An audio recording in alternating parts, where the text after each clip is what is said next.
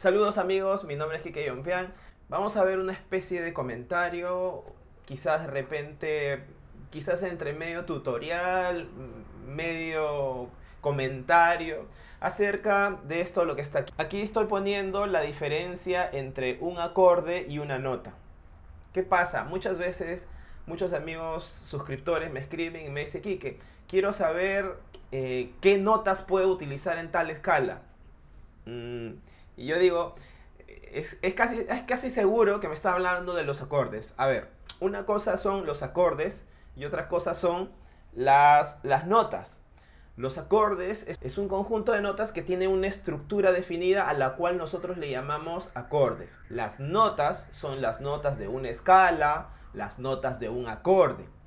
Vamos a explicar un poquito así, de, de una manera muy resumida, eh, ¿cuál es la gran diferencia? ¿Por qué no es entendible cuando tú dices, quiero ponerle las, eh, las notas a una escala? Quiero ponerle los acordes a una escala.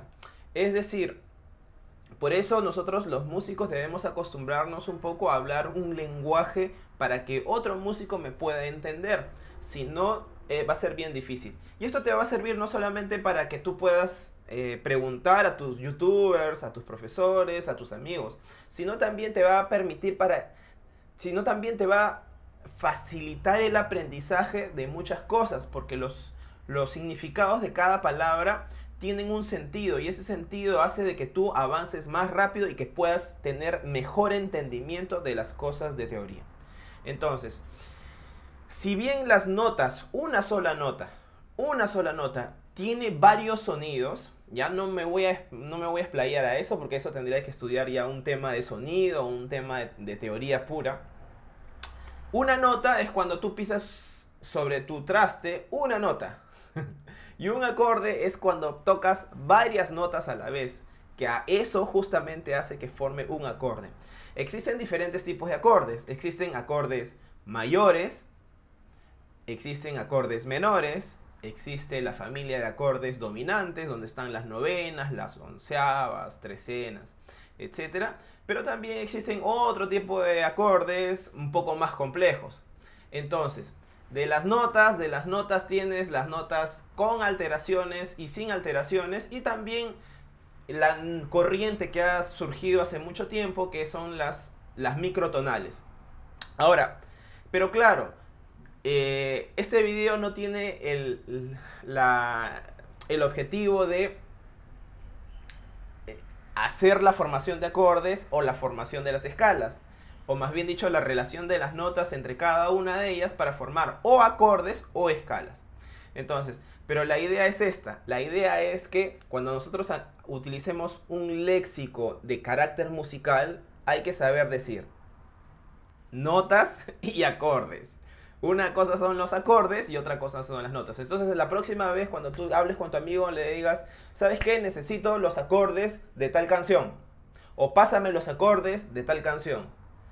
No vayas a cometer el error de decirle, pásame las notas. O de repente a un youtuber dice, quisiera saber las notas que puedo utilizar con la escala de Do frigio. Entonces, ahí, ahí hay un tema. Así que bueno, amigo, este es mi pequeño mi pequeño comentario acerca de eso. Ahora, algo adicional, sobre todo, ya seguro me están preguntando, yo, yo, yo quiero que me enseñes cómo es la formación de acordes, cómo es la formación de las escalas. Perfecto. Ahora, ahí de repente vamos a poner un, un postdata en video. La post, el postdata en video es lo mismo que siempre le respondo a mis amigos del Facebook cuando me escriben. Mucha gente me escribe al Facebook, así que por acá les respondo también.